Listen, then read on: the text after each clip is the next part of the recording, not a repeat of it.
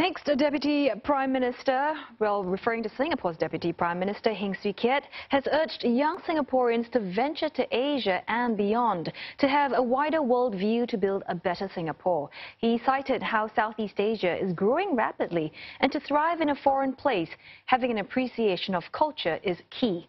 Mr. Heng also encouraged youth to be sensitive to cultural norms, to interact effectively with friends outside of Singapore. Now, he made those comments to some 540 students attending this year's pre-university seminar.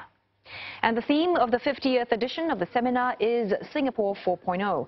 It looks at building a better future for the country. Mr. Heng encouraged the students to build connections with people from other countries in the region.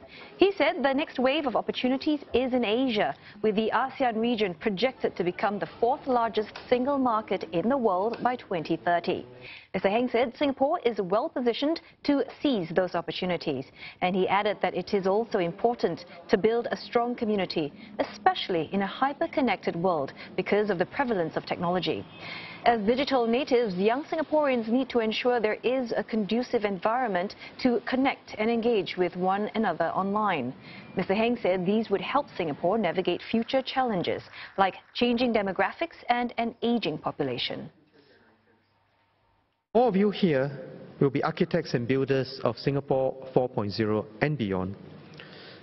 You'll face challenges that are different from the ones that your parents and grandparents faced. But I believe that you have what it takes to take us to greater heights. You are attuned to the rapid changes of technology and well equipped to take advantage of the opportunities in Asia.